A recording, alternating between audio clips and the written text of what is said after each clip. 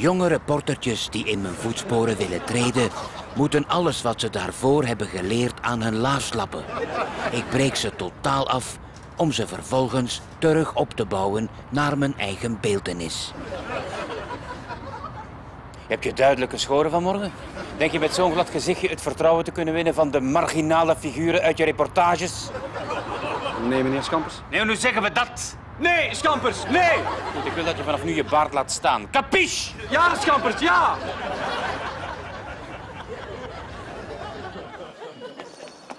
Maar de boog kan niet altijd gespannen staan. In het leerproces zorg ik ook voor ontspanningselementen. Alles begint natuurlijk bij het ABC van het televisie maken. Ik probeer jullie dat op spelender wijze bij te brengen. Jullie noemen mij een muzieknoot en ik vul aan. Docusoap, dat vond ik uit. Reportage evenzeer.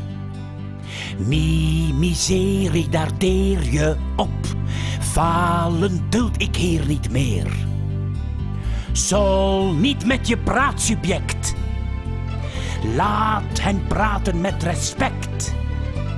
Simuleer nooit een gesprek.